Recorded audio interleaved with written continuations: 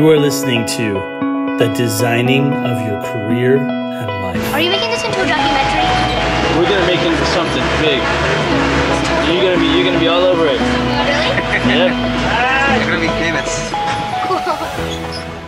في ليلة من الليالي لست أدري ما تراني ظلمة تغمرني يا رب الأرض ضاقت والسماء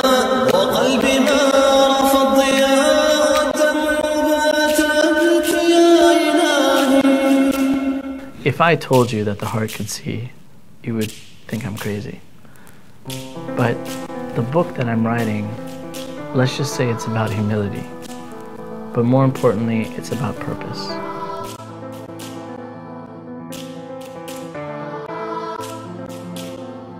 Motivating a refugee to build a life, let alone a career, it's overwhelming. They must command sustainable change to reform their life, and that's no easy task. But progress, progress is manifested from change.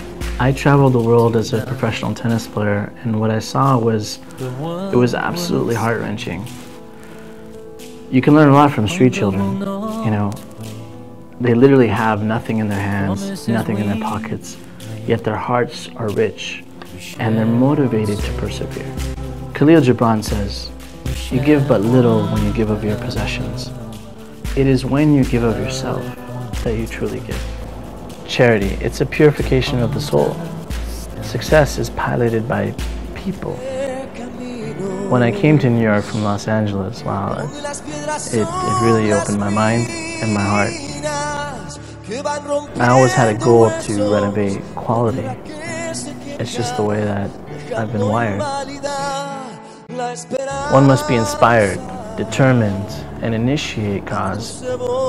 And what better place than New York City? I know it's this concrete jungle, you might think. But really, it's full of ambition, creativity, talent, and diversity. And indeed, I found clarity. I found clarity with a refreshed global perspective. And I wanted to be the face of the future, a change agent. Business cards, they'll change, but transferable skills remain. It comes from within. I want to give back to the community what it has graciously given me, and that's opportunity. Career services is a dynamic and changing landscape. Some students need motivation to get out of bed in the morning to interview for a job. Many students don't ask themselves the question, who is managing your career? You must utilize social media platforms and really open networking doors. Digital identity development, when you think about it, it, is absolutely critical. I am a chai purist, and I have a secret evolving recipe for the past 10 years. But I love good coffee too. Career readiness is that hidden skill that helps students develop employment-seeking competencies that better prepare them for the competitive nature of the job search. Next steps, fostering a campus-wide career culture.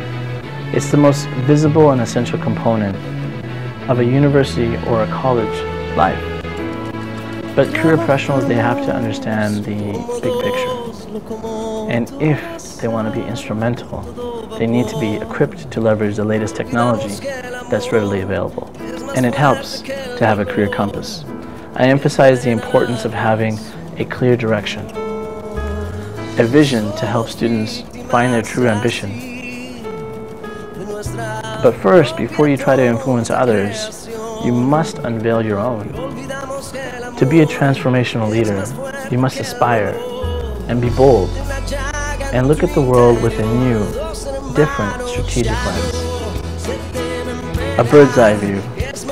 Forward thinking builds forward momentum. I took my team to the highest level of the Empire State Building, to the top of the observatory, to deliver the next level of higher strategy. The concepts are an aggregate of collective best practices. And why the top? I wanted to drive the message home. Did it work? Oh yes, it worked.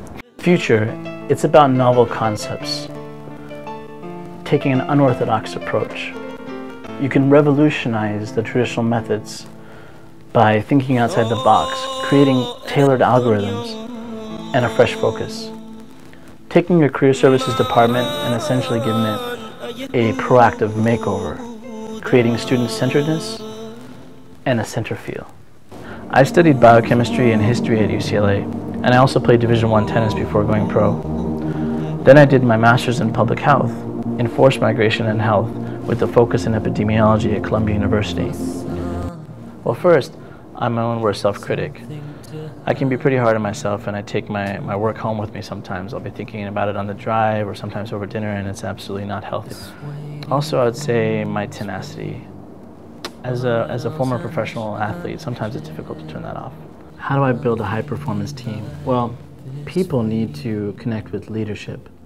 It's absolutely imperative. If you really want to reach high performance levels, you need synergy. Many companies downsize, so you may not necessarily have all the resources that you need.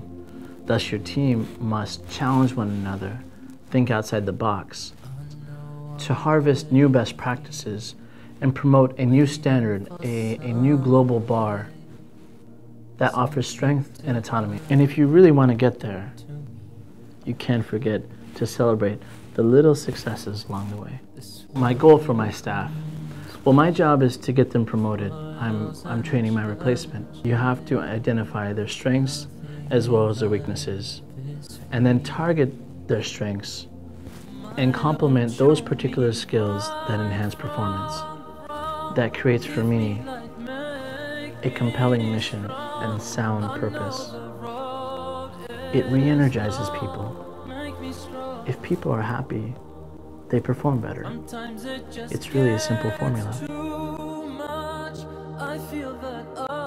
Hassan is a revolutionary intellectual and was always much more than a consummate leader and my supervisor. He was an outstanding chief executive officer who not only has the global public health expertise, but a keen and creative business mind with endless growing potential from all angles. Counts on my steadfast collaboration to champion change, commensurate, positive change You can change this world to a better world.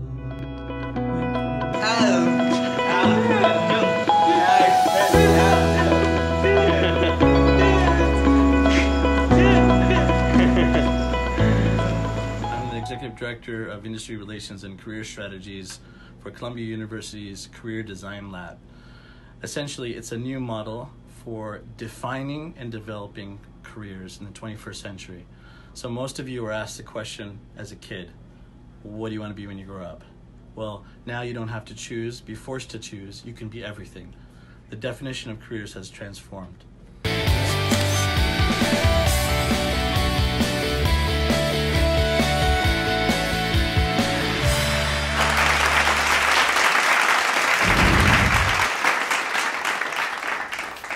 If you don't design your life, somebody else will design it for you.